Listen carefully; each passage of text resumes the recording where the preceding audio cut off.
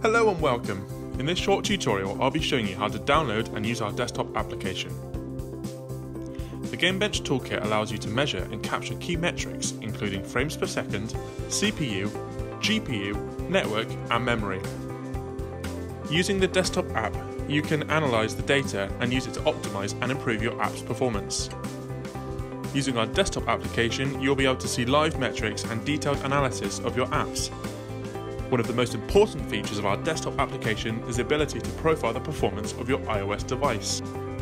To download the desktop app, all you need to do is create an account. Step 1 is to go to www.gamebench.net and create an account. Step 2 is to check for the verification email and activate your account. Please note this may appear in your junk folder. Step 3 is to go back to the GameBench website and click Login at the top right and sign in with your new credentials. Step 4. Once logged in, click the desktop app located in the download section at the top of the page. Choose your operating system and then click download. On the left hand side here you can see our helpful setup instructions guiding you how to get set up and how to prepare your devices for recording. There is also a more in-depth guide which can be found at docs.gamebench.net. Once everything is prepared, launch our GameBench application and log in using your details. If you want to record a session on Android using the desktop app, you must first enable USB debugging on your device.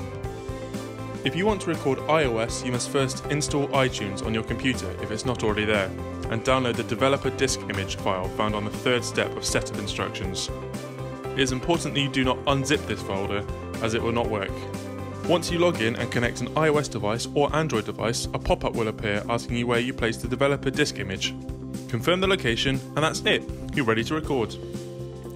Now all you need to do is connect your Android or iOS device. For an iOS device, you may be asked to trust this computer if you haven't used it before. Once you connect your device via USB, your list of apps will start loading.